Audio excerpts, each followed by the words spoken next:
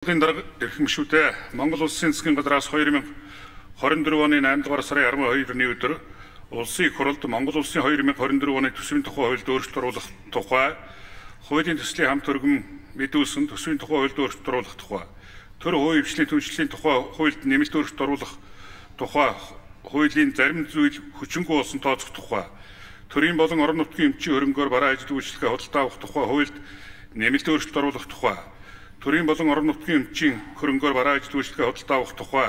хуульд нэмэлт өөрчлөлт оруулах тухай хуулийг дагаж мөрдөх журмын тухай төрийн болон орон нутгийн эмчийн хөрөнгөөр бараа ажил үйлчлэгээ худалдаа авах тухай хуульд өөрчлөлт оруулах тухай хуулийн зарим зүйл хүчингү болсон тооцох тухай аж ахуйн нэгжийн орлогын албан тухай хуульд нэмэлт өөрчлөлт оруулах тухай цөмийн энергийн хуульд өөрчлөлт оруулах тухай байгаль орчныг хамгаалах тухай хуульд нэмэлт оруулах тухай хуулийн зарим зүйл хүчингү болсон тооцох тухай Монгол Улсын засгийн газрын тухай хуульд нэмэлт оруулах тухай, төр хувийн хвшлийн түншлэлийн тухай хуульд нэмэлт өөрчлөлт оруулах тухай, төр хувийн хвшлийн түншлэлийн тухай хуулийг дагаж мөрдөх журмын тухай хуульд нэмэлт оруулах тухай, засгийн газар дахь хяналтын тухай хуульд нэмэлт өөрчлөлт оруулах тухай, төрийн хяналт шалгалтын тухай хуульд өөрчлөлт оруулах тухай хуулийн төсөл болон төрийн өмчийг нийслэлийн өмчөж шилжүүлэх тухай, төрийн захиргааны байгууллагын тогтолцоо бүтц ерөнхий бүдүүвчийг шинжилэн батлах тухай тогтоолын хавсралтанд өөрчлөлт оруулах тухай улсын хурлын тогтоолын төслүүдийг хэлцэхс асуудлыг төсвийн байнгын хороо 2024 оны 8 дугаар сарын 19-ний өдрийн хуралдаанаараа яаралтай горимоор хэлэлцлээ. Хууль санаачлагчаас Монгол улсын 2024 оны төсвийн тухай хуульд өөрчлөлт оруулах тухай хуулийн төсөл боловсруулсантай холбогдуулан дээрх хууль тогтоолын төслүүдийг боловсруулжээ. Байнгын хорооны хуралдаанаар хууль тогтоолын төслүүдийг хэлцэх үед улсын хурлын гишүүн Эс Ганбаатар төсвийн суурь тэнцэл, төсвийн суурь зарлага гэсэн ойлголтуудын талаар цалин хөлс нийгмийн суурь зардал зэрэг төсвийн урсгал зардлыг бууруулж хөрөнгө оруулалтын зардлыг нэмэгдүүлж байгаа шалтгаан эдгээр нь төсвийн зардлын хэдэн хувийг бүрдүүлж байгаа талаар төсвийн орлого нэмэгдэж байгаатай холбогдуулан хувь хүний орлогын албан татвар хэрхэн нэмэгдүүлж байгаа талаар улсын хурлын гишүүн П. Ган зэрэг төрийн болон орон нутгийн өмчийн хөрөнгөөр бараа ажил үйлчлэгээ худалдаа авах тухай хуульд нэмэлт өөрчлөлт оруулах тухай хуульд оруулсан сонгон шалгаруулалтын хоёр удаа зарлаад хувийн хвшил оролцоогүй тохиолдолд төрийн болон орон нутгийн өмчит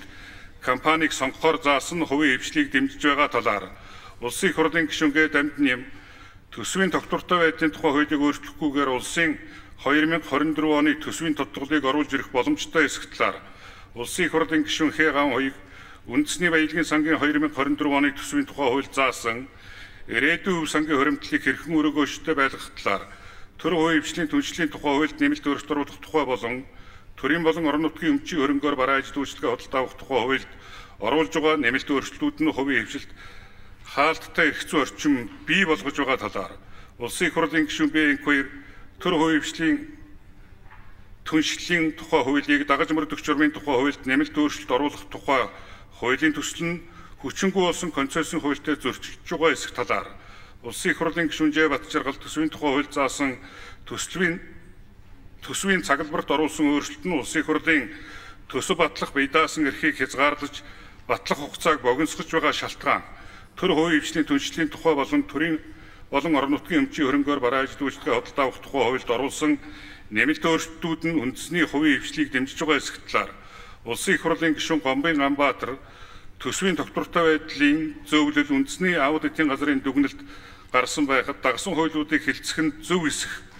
төрийн хөрөнгөөр бараа ажил үйлчлэгээ худалдан авахд хувийн хвшлийн зэрэгцээ төрийн болон орон нутгийн өмчит компаниуд оролцож байгаа зөв эсэх талаар тус тус асуулт асууж хариулт авсан болно. Улсын их хурлын гишүүнжээ Бачаргал Монгол Улсын 2024 оны төсвийн тухай хуульд өөрчлөлт оруулах тухай хуулийн төсөлтэй хамт өргөн мэдүүлсэн хуулийн төслүүдийг хилцхийг дэмжин харин ажлын хэсэг боловсруулалтын явцад сайжруулах төсвийн тогтвортой байдлын тухай хуульд оруулсан нэмэлт өөрчлөлтийг нийгэмд буруу зуруу ойлголт өгөхөөр тайлбарлаж байгаад засгийн газар дүгнэлт хийх өмнө нь батлагдсан 6-гийн 4-р хэсгийн бичлэлтийг хууль зүйн техникийн хувьд боловсронгуй болгох талаар улсын их хурлын гишүүн Б2 тендерийн хуулиар биш засгийн газар дангаран гэрээ хэлцэл хийх үр дагаврыг бий болгож байгаа тул эдгээр хуулиудыг дэмжих боломжгүй талаар улсын их хурлын гишүүн уян хишиг төсвийн тогтвортой байдлын тухай хуульд өөрчлөлт оруулах асуудлыг хэлэлцэн шийдвэрлсэний дараа дагаж мөрдөх да- дагаж өргөн мэдүүлсэн хуулийн төслүүдийг хэлэлцэх хуулийг өөрчлөхгүйгээр одоо дагаж мөрдөж байгаа хуулийн хүрээнд төсвийн тодтголыг хэлэлцэх, тендерийн хуулийн төслийг наривчлан хэлэлцэх, улсын их хурлын гишүүн П сайн зэрэг тендерийн хуулийг төслийг хэлэлцэх эсхийг дэмжиж бусад хуулийн төслийг сайн судлаж боловсронгуй болгох, улсын их хурлын гишүүн Ц даваасрын тендерийн болон концессийн үйл ажиллагааг зохицуулсан хууль болон зарим хуулийн төслүүдэд хууль эрх зүйн дүгнэлт гаргах шаардлагатай гэсэн саналыг тус тус гаргасан болно. Байнгын хорооны хуралдаанд оролцсон гишүүдийн олонх Монгол Улсын 2024 оны төсвийн тухай хуульд өөрчлөлт оруулах тухай үндэсний баялагын сангийн 2024 оны төсвийн тухай хуулийн төслийн хамт өргөн мэдүүлсэн хууль тогтоолын төслүүдийг үзэл баримтлалынханд хүрээнд хэлэлцгийг дэмжиж чуулганы нэгдсэн хоралдаанаар хэлэлцүүлэх нь зүйтэй гэж үзсэн болно. Улсын их хурлын эрхэм гишүүдээ Монгол Улсын 2024 оны төсвийн тухай хуульд өөрчлөлт оруулах тухай хуулийн төслийн хамт өргөн мэдүүлсэн дээрх хууль улсын их хурлын тогтоолын төслүүдийг хэлцэх хэсэг талаар төсвийн байнгын хорооны санал дүгнэлтийг хэлэлцэн шийдвэрлэхийг та бүхнээсээ хүсье анхаарал хандуулсанд баярлалаа.